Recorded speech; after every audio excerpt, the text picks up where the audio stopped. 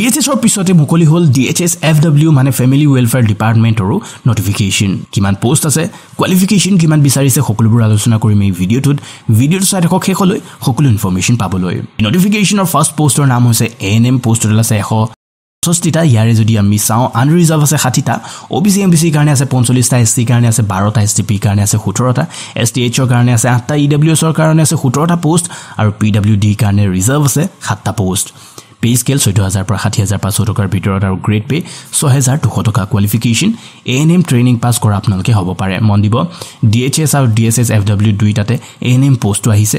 যদি আপোনালোকে এই ট্ৰেইনিং পাছ কৰিছে এপ্লাই কৰিব পাৰিব। পষ্টৰ নাম হৈছে L D A computer assistant steno typist পষ্টৰ আছে ষোল্লটা। ইয়াতে আন ৰিজাৰ্ভ আছে আঠটা। O' B C M B চিৰ কাৰণে আছে চাৰিটা এছ চিৰ কাৰণে আছে এটা এছ টি পিৰ কাৰণে আছে এটা এছ টি এইচৰ কাৰণে আছে এটা ই ডাব্লিউ এছৰ কাৰণে আছে এটা। পে স্কেল চৈধ্য হাজাৰ পৰা ষাঠি হাজাৰ পাঁচশ টকাৰ ভিতৰত আৰু গ্ৰেড পে ছহেজাৰ দুশ টকা কোৱালিফিকেশ্যন গ্ৰেজুৱেট বিচাৰিছে any discipline arts science commerce আপুনি যিকোনোৰে হ'ব পাৰে। লগতে বিচাৰিছে মিনিমাম এবছৰীয়া ডিপ্ল'মা কম্পিউটাৰ এপ্লিকেশ্যনৰ নেক্সট পষ্টৰ নাম আছে গ্ৰেড ফ'ৰ পিয়ন পষ্টত আছে পঁচিছটা ইয়াৰে আন ৰিজাৰ্ভ আছে আঠটা। O' B C M B চিৰ কাৰণে আছে সাতটা।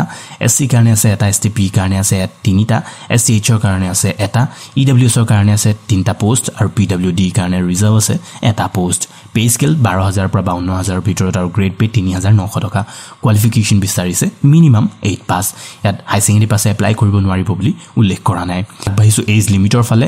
বয়স আপোনালোকৰ ওঠৰৰ পৰা চল্লিছৰ ভিতৰত বিচাৰিছে। এইটিন টু ফৰ্টি আছে age relaxation age per government rule S C S T P S T H A পাব পাঁচ বছৰ এইজ ৰিলেক্সেশ্যন ৰিজাৰ্ভেশ্যন থাকিব ফিমেলৰ কাৰণেও। এপ্লিকেশ্যন ফিজ নাই আপোনালোকে এটকাও পে' কৰিব নালাগে। হাউ টু এপ্লাই কেনেদৰে আপোনালোকে এপ্লাই কৰিব ডি এছ এছ এফ ডাব্লিউৰ অফিচিয়েল ৱেবছাইটৰ পৰা কৰিব পাৰিব অনলাইন এপ্লাই মন দিব। তেওঁলোকে অনলাইন এপ্লাই কৰা লিংক আৰু লগতে এপ্লাই কেতিয়াৰ পৰা ষ্টাৰ্ট হ'ব কেতিয়া লাষ্ট ডেট এইবোৰ ঘোষণা কৰা হোৱা নাই। বন্ধুসকল লৈ আহিছোঁ আপোনালোকৰ বাবে। অসমৰ প্ৰথমটো ছ'চিয়েল নেটৱৰ্কিং এণ্ড্ৰইড এপ্লিকেশ্যন চাকৰিৰ বাবে। য'ত আপোনালোকে এক্সাম ৰিলেটেড প্ৰব্লেমসমূহ আলোচনা কৰাৰ লগতে খুলিব পাৰিব এক্সাম ৰিলেটেড গ্ৰুপ ডাউনলোড কৰিব পাৰিব পি ভি এছ ইৰ কুৱেশ্যন পেপাৰ শ্বেয়াৰ কৰিব পাৰিব ডকুমেণ্টছ আৰু ফটো চাব পাৰিব লেটেষ্ট জব নটিফিকেশ্যনসমূহ আজিয়ে ডাউনলোড কৰক exam hotspot application Google play ষ্টৰৰ পৰা। এই এপ্লিকেশ্যনটো ডাউনলোড কৰা লিংক ভিডিঅ'টোৰ ডিছক্ৰিপশ্যনত পাব তাৰ পৰা আপোনালোকে ফ'ল' কৰি চিধা ডাউনলোড কৰি ল'ব পাৰিব বা গুগল প্লে ষ্টৰত গৈ আপোনালোকে এক্সাম হটস্পট চাৰ্চ কৰিলে আমাৰ এপছটো পাব। তাৰ পৰা চিধা আপোনালোকে ডাউনলোড কৰি ল'ব পাৰিব।